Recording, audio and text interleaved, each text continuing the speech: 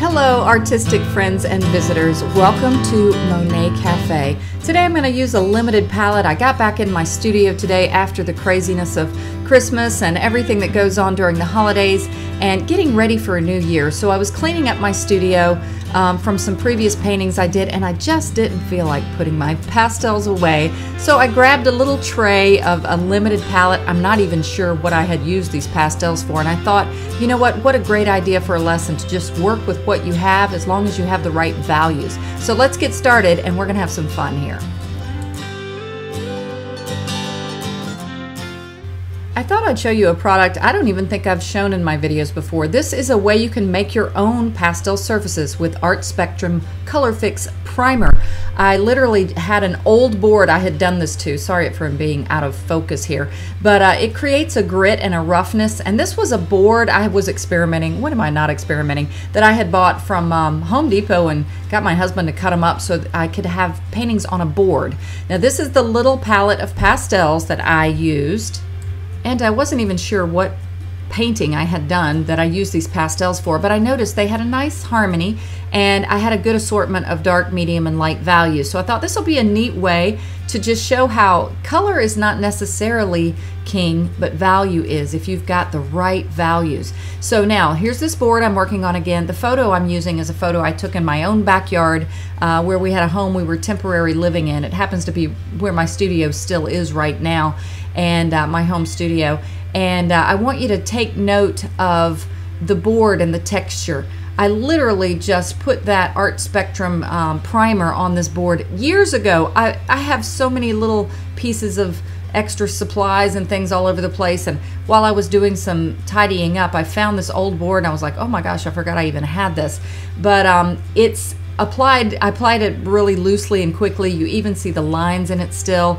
And I'm not going to get a lot of layering with this which is actually sometimes kind of neat. It forces you to be a, little bit more careful um, and have what I like to call efficiency of stroke. Um, you're really paying attention to getting your marks and your strokes correct. So notice how good, this is just a little new pastel I'm using here, and uh, notice how just using the side of it um, works quite well for laying in those grasses and uh, even that tree in the background, I happen to think it, I it almost looked like a building when I first made the marks. I almost changed it to a building, but I thought, no, I'll keep it a tree. But see how great that was just for getting in your general uh, value and a, an initial sketch with that new pastel. Now I'm going to start working on some of the darks in this, and um, I'm switching a lot from my right to my left hand because my tripod was kind of sticking out um, where my foot was, and sometimes working right-handed was more convenient.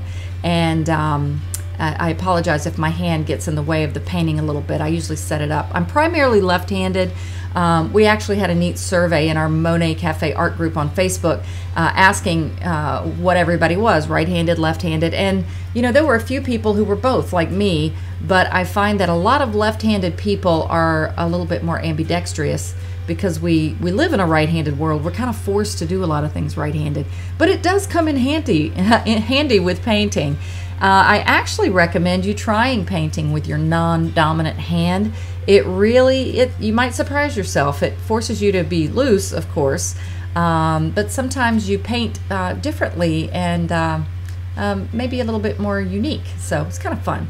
So anyway, I'm just getting in my values here. Again, I'm having to be careful about not getting um, too much down too quickly because I don't have the layering potential that I would with like maybe uh, UArt paper or some of the other surfaces because this is a homemade surface.